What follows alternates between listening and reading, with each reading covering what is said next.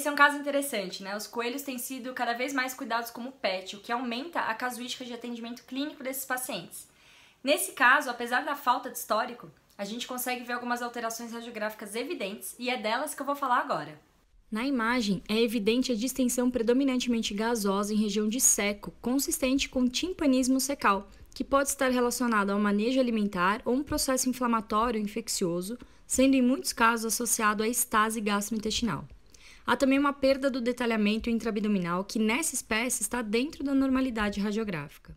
O seco em coelhos ele é um órgão extremamente complexo e altamente desenvolvido, e é ali que acontece a decomposição dos tecidos vegetais. Os problemas digestivos mais relatados em coelhos são diarreia, constipação intestinal e timpanismo.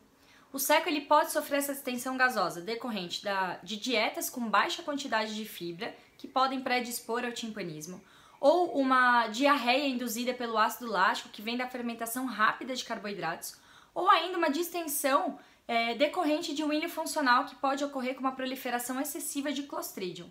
Bom, esse foi o caso da semana, espero que vocês tenham gostado, me manda um sim se você curtiu. Muito obrigada e até a próxima!